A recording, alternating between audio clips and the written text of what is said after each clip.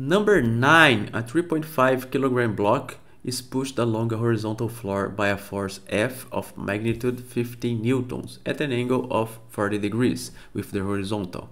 The coefficient of kinetic friction between the block and the floor is 0.25. Calculate the magnitudes of letter A, the frictional force on the block from the floor, and letter B, the block's acceleration. Okay, so since the block is already moving, we can calculate the frictional force pretty easy. So the frictional force for a moving uh, body is simply the kinetic coefficient mu k times the normal force. Okay, so this is the equation that we are going to use to calculate the frictional uh, force uh, that, that's applied to the block. So you can see that we already have the coefficient over here, but we don't have the normal force. So we have to calculate the normal force and then we can find the frictional force uh, on the block from the floor. Okay, so how can we calculate the normal force? First, let's let us draw the free body diagram. So let's use this this figure over here. So we know that we have the friction opposite to the, the movement of the block. We also have the gravitational force and we have the normal force over here. And we have to decompose this force over here because it makes an angle with the horizontal. So we know that we'll have an x component over here and let's call it fx and fx is equal to f the magnitude of this value over here times the cosine of the angle. And we also have let's choose a color let's let's go blue again. And we have one y component so let's call it fy and it's equal to f times the sine of the angle. So this is the free body diagram of the block and let's apply Newton's second law so we can find the value of the normal force.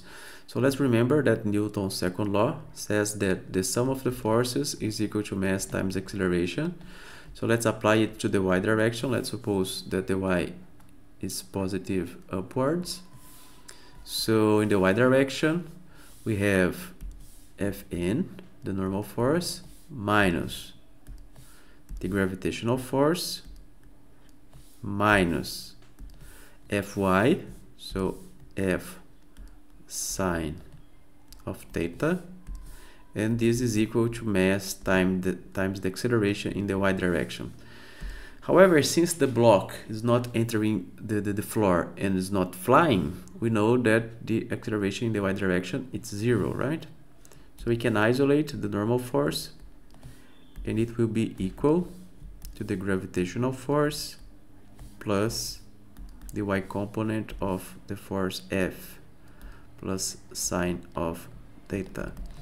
So this will be equal to 15 because this is the, the sorry this the, this force over here is equal to 3.5 times the gravity mass times gravity right so gravity is 9.8 plus f which is equal to 15 times the sine of 40 degrees. And this is equal to 44 newtons. So this is the value of the normal force. And if we have the normal force it's pretty easy to calculate the frictional force. So the friction will be equal the value of the kinetic coefficient is equal to 0 0.25 so we just have to multiply 0 0.25 by 44 and this will give us 11 newtons. So this is the answer of letter A.